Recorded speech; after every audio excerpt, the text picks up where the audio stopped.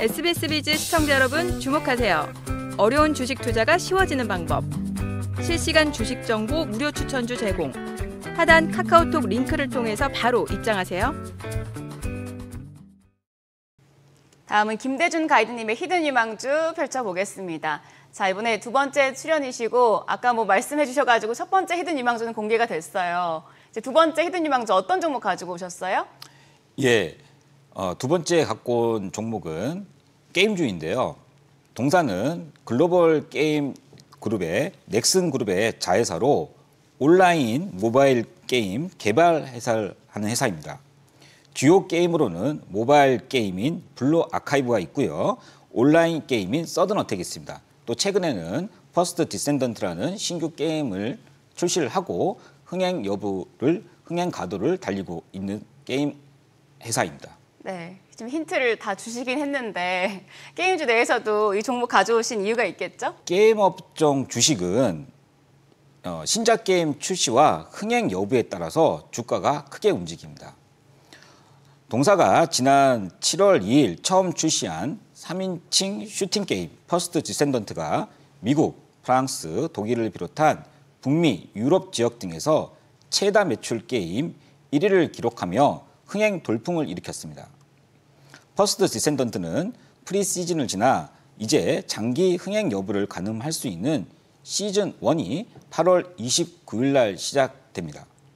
현재의 분위기로 보아 장기 흥행 가능성이 높다고 보여지기 때문에 제가 히든주로 들고 왔습니다. 네, 히든주 저도 살펴보니까 어, 그런데 실적이 지금 2분기 실적만 놓고 봤을 땐 조금 안 좋더라고요. 이 부분 괜찮을까요? 네, 2분기 실적만 놓고 보면 이 회사는 적자입니다. 그러나 최근에 이제 출시한 First Descendant가 7월 2일 출시를 했는데요. 지금 이제 일매출이 20억, 30억 정도 나오고 있는 상황에 있기 때문에 3분기부터는 확실한 turnaround, 이제 흑자로 된 것은 이제 기정사실이고요. 2024년 한 올해만 놓고 봤을 때 시장 예측치는 영업이익이 약 한 700억 정도로 예상을 하고 있습니다. 그런데 어, 게임이라는 게 흥행이 조금만 더 되면 매출과 이익이 확 늘어나는 이제 구조로 되어 있거든요. 그래서 지금 이제 현재 분위기는 아주 나쁘진 않습니다. 그래서 어, First Descendant가 지금 온라인 게임의 그 Steam이라고 하는 곳에서 글로벌 1위까지 기록했다가 지금 10위로 떨어졌지만 시즌 1이 이제 프리 시즌을 지나서 시즌 1이 된다고 했을 때 흥행이 된다고 하면은 이제 그 매출 추정치가 올라가기 때문에 어 시장 예상치인 700억보다는 훨씬 넘을 것으로 그렇게 이제 보여지기 때문에 현재의 수준에서도 매력적인 valuation이다. 이렇게 이제 판단이 됩니다. 왜냐하면 동사의 시가총액이 한 1.5조 정도 되거든요. 그런데 게임 업종에서 영업이익이 천억이 넘으면 넘으면 어, 또이 이 회사는 그 유저층 자체가 또 모바일만 있는 것이 아니고 또 RPG가 아니고 다양한 플랫폼과 또 다양한 또 매출처 북미나 이런 데서 좀 지금 흥행을 하고 있기 때문에 valuation multiple이 올라갑니다.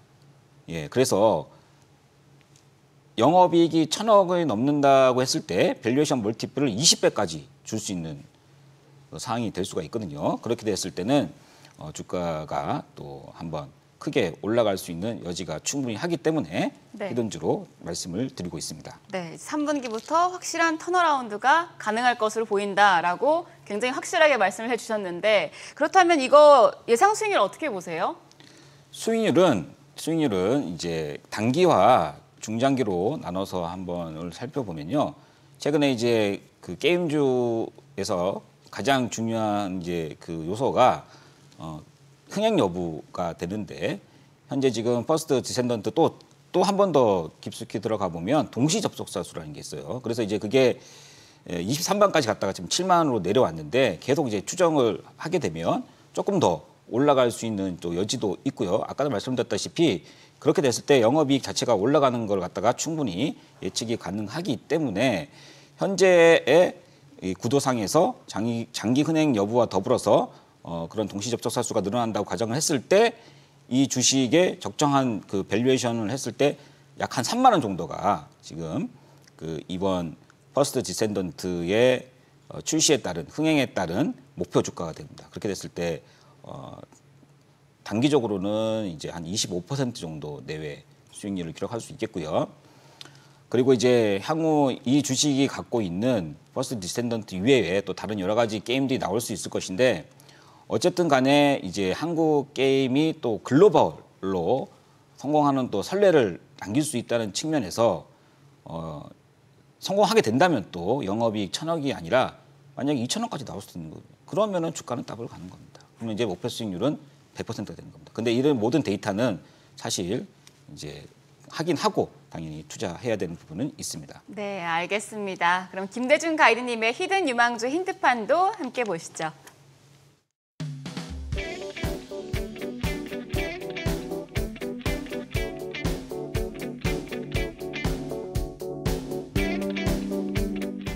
계속해서 투자 고수들의 실전 투자 전략과 비법 알아보겠습니다. 먼저 김대준 자문역의 투자 아이디어 시간입니다. AI 시대가 본격화되면서 최근엔 기기 자체에서 AI를 지원 가능한 on-device AI 기술이 주목받고 있는데요. on-device AI 관련해서 어떤 투자 아이디어 얻을 수 있을지 자세한 내용 함께 하시죠. 오늘 말씀드릴 내용은 on-device AI입니다. 현재 AI 산업은 아이폰으로 대변되는 모바일 혁명과 같이 AI 혁명이란 단어를 쓰고 있습니다. 2006년 시작된 모바일 혁명이 우리의 일상을 획기적으로 바꾼 것과 같이 2022년 챗GPT 등장과 더불어 화려하게 시작한 AI 혁명은 이제 시작이라는 데 있어서 반론의 여지를 제기하시는 분들은 없을 것으로 보입니다. AI 산업의 성장 단계를 좀 더 구체적으로 보면 지금까지는 AI 하드웨어가 구축되는 단계였습니다. 그래서 서버, 클라우드 쪽 사이클이 부각되었다고 한다면 이제는 디바이스, 즉 우리가 흔히 사용하는 스마트폰, PC에서 AI 서비스를 할 수 있는 on-device AI 단계로 넘어가는 상황에 있습니다.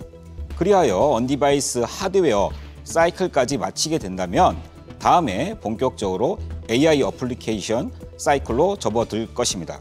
즉 on-device AI 생태계에서 전반적인 확장세가 이루어질 것입니다. 이 시점에서 on-device AI 하드웨어 대표주자 AI 폰 경쟁 상황을 한번 살펴볼 필요가 있겠습니다. 삼성전자가 지난 7월 AI 폰을 선보인 가운데 구글이 최근 8월 자체 AI 비서를 탑재한 최신 스마트폰을 공개하여 on-device AI 경쟁이 시작되고 있습니다. 특히 애플도 AI 인텔리전스라고 불리우는 기능을 탑재한 아이폰 16 시리즈를 선보일 예정입니다. 먼저 구글은 자체 개발한 최신 어플리케이션 프로세스를 탑재해 사람처럼 자연스러운 대화가 가능한 AI 모델 제미나이 라이브를 출시했습니다. 사용자들은 제미나이로 스마트폰 화면 속 내용에 대해 음성으로 질문을 할 수가 있습니다. 가령 시청 중인 유튜브 동영상에 대한 보다 자세한 정보를 물어볼 수 있습니다. 또는 사용자가 식사를 준비할 때 제미나이에게 음성으로 지메일을 통해 친구에게 받은 레시피를 찾고 필요한 재료를 구글 킵 쇼핑 목록에 추가해달라고 요청하는 게 가능해집니다. 자, AI 지각생이라고 불리우는 불명예를 안고 있는 애플도 대대적인 반격 채비를 갖추고 있습니다. 지난 6월에는 오픈 AI와 파트너십을 통해 애플의 음성 비서인 시리에 챗 GPT를 접목한다고 발표한 바 있습니다. 전 세계 스마트폰 1위 혁신의 아이콘 애플이 과연 어떠한 AI 폰으로 업계의 판도를 변화시켜 놓을지 전 세계의 이목이 집중되어 있습니다. AI 인텔리전스가 탑재된 아이폰은 이번 연도 하반기에 출시 예정에 있습니다. foldable 하드웨어 혁신에 강점이 있는 삼성은 올해 초부터 AI 폰 시장을 개척하고 있습니다. 보급형 스마트폰에도 AI 기능을 확대 적용하겠다는 방침이고 올해 연말까지 약 2억 대의 갤럭시 모바일 기기에 AI를 탑재할 계획이라고 밝힌 바 있습니다. 이처럼 on-device AI 기술 혁신은 스마트폰 시장에 큰 폭 성장을 이끌 것으로 보이는 가운데 관련된 하드웨어, 소프트웨어 시장은 더 가파르게 성장할 것으로 전망됩니다. 그동안 실제로 하드웨어 부분에서 먼저 폭발적인 성장세가 나오고 있는데요.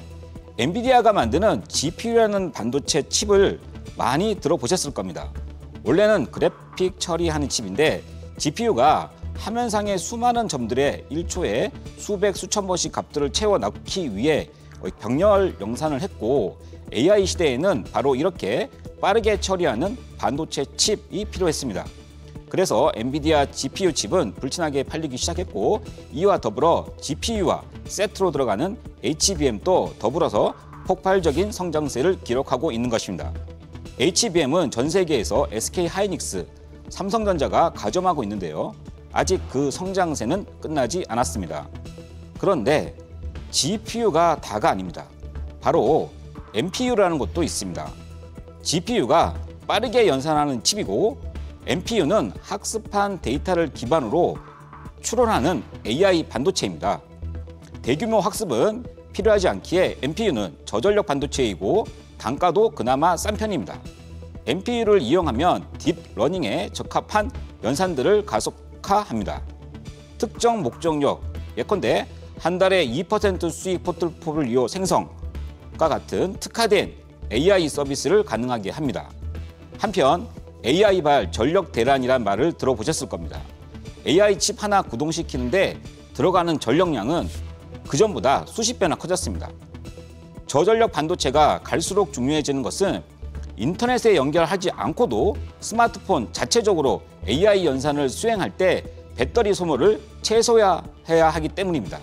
많은 반도체 기업들이 이를 해결하기 위해 저전력 반도체를 개발하고 있습니다. 삼성전자, SK 하이닉스는 저전력 D램 반도체를 HBM처럼 층층이 쌓아 올려 용량과 속도를 높이고 전력 소모를 줄이는 저전력 HBM 개발 경쟁도 치열합니다. 이와 더불어 반도체 소부장 기업들도 유리 등을 이용해 전력 효율을 높일 수 있는 차세대 기술 개발에 열중하고 있는 만큼 관련 기업들의 동향을 주시해야겠습니다. AI 혁명의 사이클상 현재는 인프라가 깔리고 있는 단계이기 때문에 하드웨어적인 기업들의 주가가 크게 각광받고 있습니다. 그런데 우리 예전 모바일 혁명에서 알 수 있듯이 하드웨어가 진화가 이루어지고 나면 그 다음에는 컨텐츠, 애플리케이션의 시대로 넘어갑니다. 이때 모바일 게임주들 주가가 10배 오르는 것도 경험했습니다. 자, 모바일 인프라가 잘 되어 있었기 때문에 가능했던 것입니다. 자, 이제 AI 혁명의 초입의 시대입니다. 그동안 반도체 종목들이 크게 부각을 받았지만 지금 조동돈 많이 나오는 시점에서 다시 열심히 공부하고 종목 찾으면 분명히 템버거의 종목도 있을 수 있다고 보여집니다. 그런데 어려운 용어들이 많고 이해하기 쉽지 않은 부분도 있습니다. 또 시간을 내서 따로 공부하기도 힘든 상황이 대부분이실 겁니다.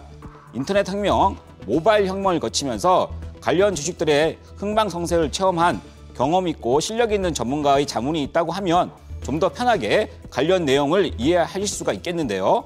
관련주들에 대한 내용이 궁금하시다면 카카오톡 커뮤니티에 오시면 자세히 설명드리도록 하겠습니다.